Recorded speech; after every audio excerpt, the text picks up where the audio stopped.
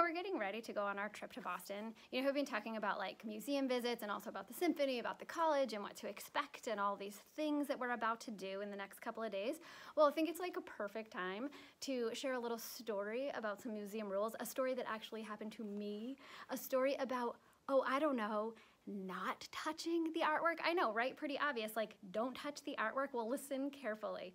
I was with a friend at an art museum and I have a little story and it goes like this. It's a real, like, you know, life lesson.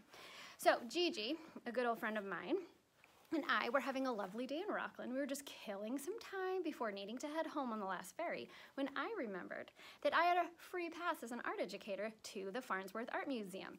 Now, a lot of you probably remember the Farnsworth because we visited that in like middle school. I think we went on a field trip there. So a lot of you know it's right on Main Street in Rockland. Okay, so Gigi was an art history major, so heading into a museum with her was like definitely gonna be awesome. She was gonna have like way more little stories and tidbits, and I really was looking forward to like walking around with her, like, you know, and then head on the ferry, go home, no big deal, like uneventful day. Um, okay, so check this out. i am gonna spoil the end. We got scolded by a security guard, and let me tell you how, okay. So we made our way through the galleries. We were admiring one Wyeth painting after another, as we did in middle school. You remember that, I'm sure. And um, we turned the corner, and Gigi's jaw dropped. We were standing in front of an impressive Thomas Cole painting, and she launched into a monologue about her love of this style of painting. So, Gigi, being from upstate New York, she had a ton to say about these Hudson River School of Painters. And I was like all ears. I was like, tell me more, tell me more. I'm drooling like over every single thing that she says. So she started talking about the delicate brushstrokes and got super close to one of the paintings. Okay, you have to check this out. She was like gesturing to something that she really wanted me to see. And she was had her, let's pretend this is a museum map. It's actually from another museum. It's from the CMCA also in Rockland. So she's got her museum map and she's gesturing towards her painting. Wait, this is my favorite mosquito painting. I know it's not a Thomas Cole, but I just love it. Okay, back to the story. She's got her museum map and she's gesturing like, oh, look at this and look at this. And she's getting so close talking about the intricate brushstrokes.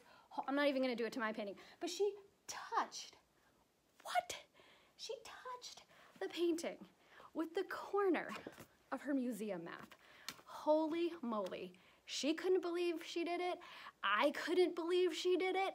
And no sooner did the corner make contact with the painting out of nowhere, a very tall, very serious, I mean, he was a little bit friendly looking. I mean, he wasn't like yelling or anything, but he was tall and serious.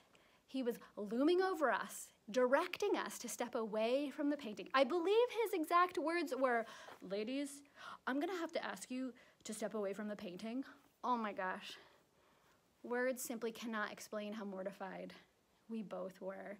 We apologized profusely, of course, like whispering in a museum, we're sorry, we're sorry, sorry, sorry, sorry, sorry, sorry, sorry. And we quickly moved along to the next gallery. We were giggling like in that way where you like something horrible has happened and you don't know what else to do, so you're like giggling. Oh my gosh, we have never been so embarrassed in such a formal setting, and I never, ever, ever, ever forgot that. So I tell you this tale so you don't make the same mistake I did. So here's the takeaway for our trip to Boston. Number one, do not, under any circumstances, touch any of the artwork. Like even if you just do that one rule, you're good to go. Also, number two, um, choose your friends wisely. Just kidding. I love Gigi. It was fun. She didn't mean to do it, and she's great. It's, it's an old story that we tell each other over and over and over again. But yeah, choose your friends wisely in an art museum. Um, so we all make mistakes. No one died. No one got hurt. No one was thrown in jail. But it was a good reminder, and it's a story I carry with me into every museum and gallery I ever go in. You better believe that I will be thinking of it as we head into the MFA in Boston and we all get a little time to ourselves to explore the works on display. You should also keep my story in mind, okay? So that's my story. It's kind of funny. It's like funny and, um, you know, a cautionary tale. So Anyway, can't wait to go to the museum with you guys.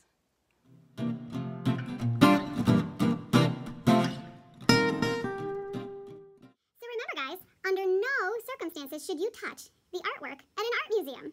You might want to touch the artwork, you might think nobody's looking, but take it from me, don't touch the artwork at an art museum unless you want to have a very tall, very serious security guard looming over you saying, Ladies, step away from the painting. Okay, guys, that's museum tip number. I know Mrs. White said something about not touching the artwork in an art museum, but I really, really, really, really want to touch this Monet haystack, and I don't even think anyone's looking. Excuse me, sir, I'm going to have to ask you to step away from the painting. I repeat, step away from the painting. Thank you.